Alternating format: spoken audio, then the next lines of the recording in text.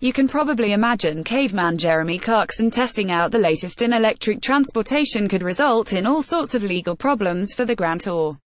And you were right. Indeed it seems that producers were so worried about Jeremy stepping out of turn while checking out the Tesla Model X, that they hired a team of lawyers to sit in the car with him. In a clip posted to the Grand Tour's official Facebook page, the presenter can be seen driving the vehicle, accompanied by six sharp-suited and defamation-savvy lawyers. Advertisement, continue reading Bella One It's a good thing they were there too, since, as you can probably imagine, there were a lot of hypothetical fires that needed putting out. The first item up on the bill for discussion was the manufacturer's claim that the Model X can travel up to 351 miles between charges, with Jeremy all set to launch into a speech about his own experience with electric cars. Swiftly, one lawyer interjected, so that we're clear, we completely accept that this car can do 351 miles between charges, don't we? Suggesting a claim on manufacturing is untrue is not where we're going to go today, is it? said another.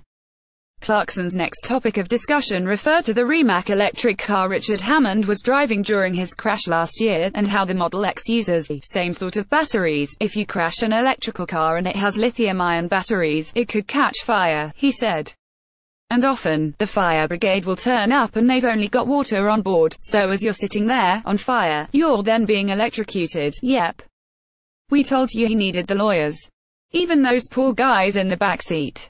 Copyright Amazon Prime. Well, I think we should make it clear that we're not suggesting that these cars have any inherent defect, said a lawyer in the back. Look what happened with Samsung and their batteries, Jeremy added. We're not going to start defaming Samsung, are we? added the lawyer. Oh, Jezza. The Grand Tour airs on Amazon Prime. Want up to the minute entertainment and tech news? Just hit like on our Digital Spy Facebook page and follow on our Digital Spy Twitter account and you're all set.